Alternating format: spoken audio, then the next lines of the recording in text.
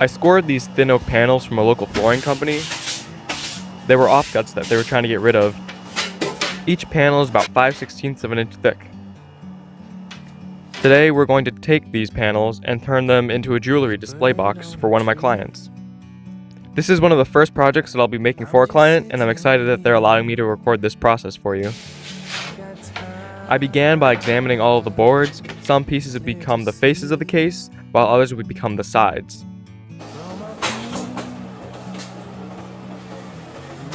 After a quick review of the plans, I could hook up my jigsaw and start cutting all the planks to dimension.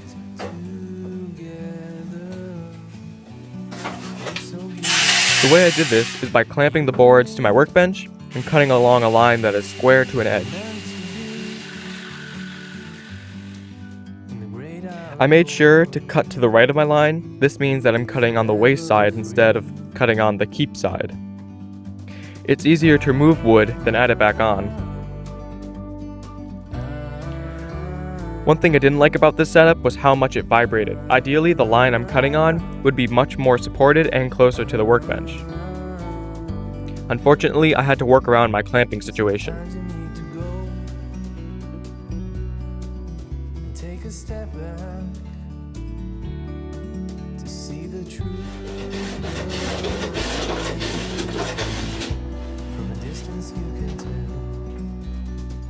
Then I had to do that all a second time make another face for the jewelry case.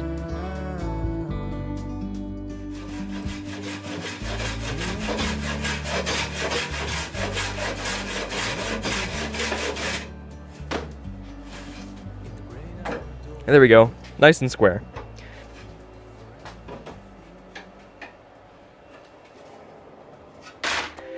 It is now time to make the sides for the case. I'm using a marking gauge to scribe lines that are 1 inch apart. This will make the case be just over 2 inches wide in the end.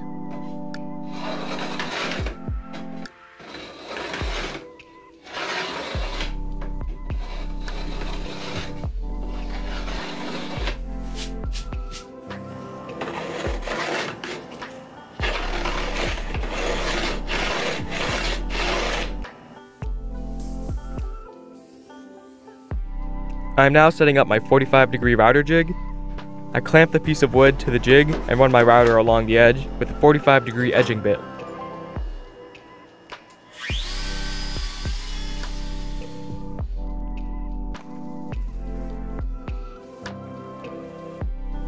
Great camera angle there, Eli.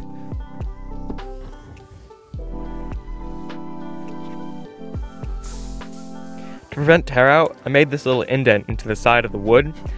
This makes the end of the cut more supported and less likely to chip out.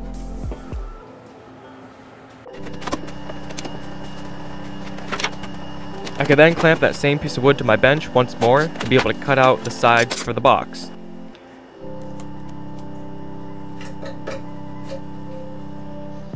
Shout out to all my Patreon supporters. Patrons get special rewards that my subscribers don't. I left the link in the description to where you can check all those rewards out. Clean up the cut, I used a block plane once more. This gave the side of the box a flat edge. I just do all of that four more times and I have all the pieces ready for the glue up.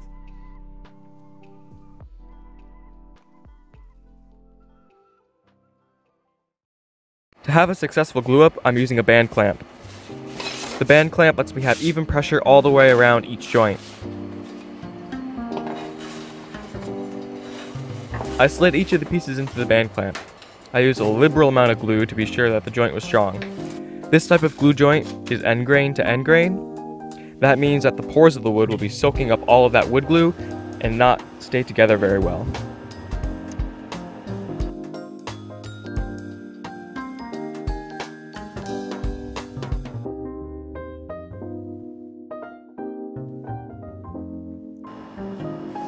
We turn the handle to draw in the band.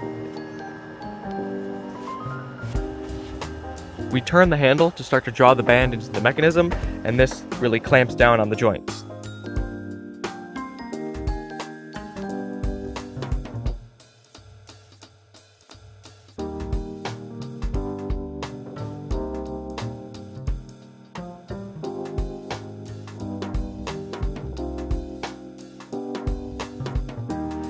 Once the glue dries, we need to reinforce the joint. Like I said, it's a very weak joint.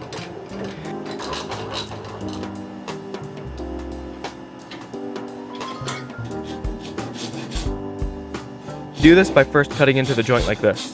This does make it weaker for a short amount of time, but we do one more step to ensure that it's a very strong joint.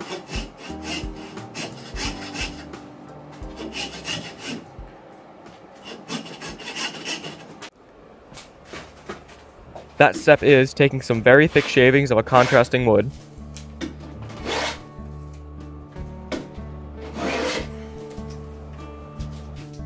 And then spreading glue on that big chip and sliding it into the slot.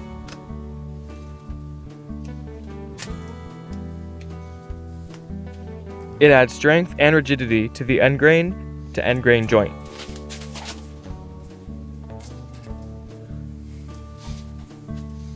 Once it's dry, we can just trim off the excess with a chisel.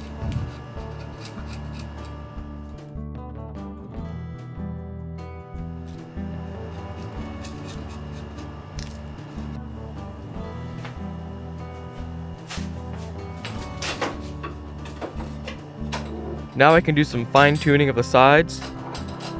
Not all the side pieces were the same height.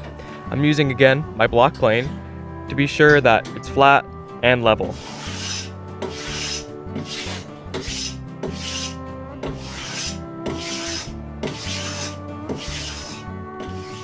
Now it's time to attach the back of the case.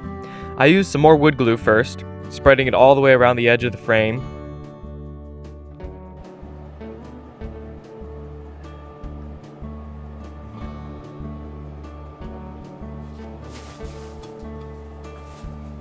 And then made sure it was held in nice and strong with brad nails. I'm sure that this thing will last forever.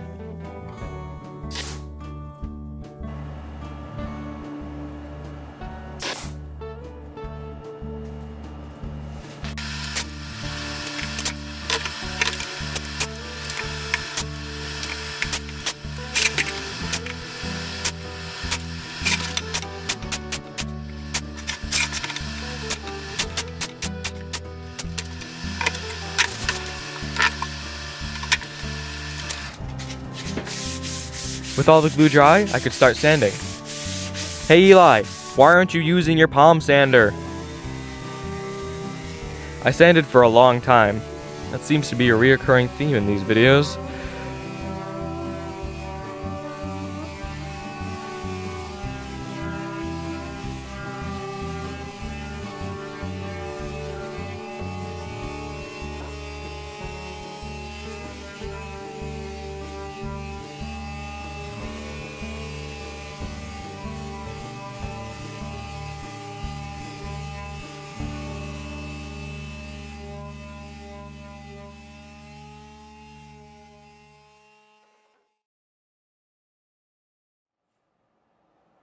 Now if only had another one exactly like this one.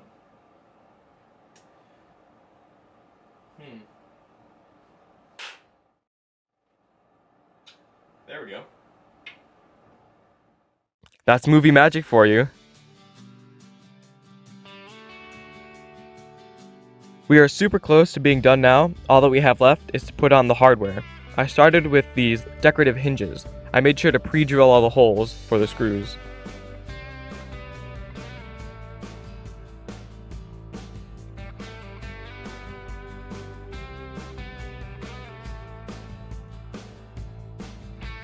Then I cut a bunch of this gap filler foam.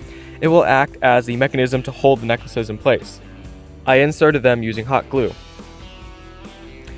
And now you can see right here, this is how it's going to be holding the necklaces. You just push the cord into the gaps and it holds it there nice and sturdy. I'm going to be installing this little uh, latch.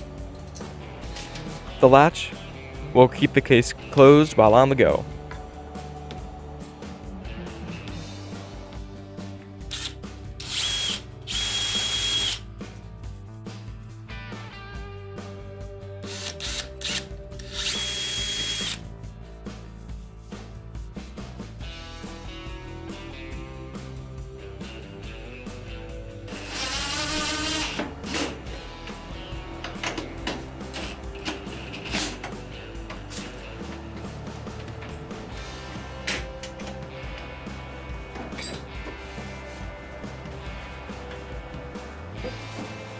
It works wonderfully. Good job, Eli.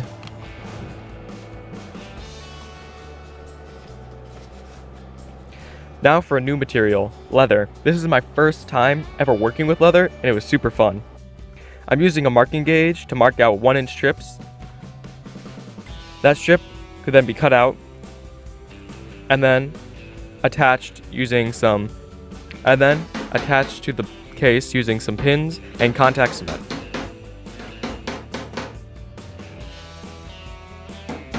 And just like that, we have a handle. Look at that color change. You can even see some flecking coming through. This project took me quite a long time but came out absolutely amazing. I've already got confirmation from my client and they say that they love it. I really hope to start doing more custom work like this and be able to share more of these unique projects with you.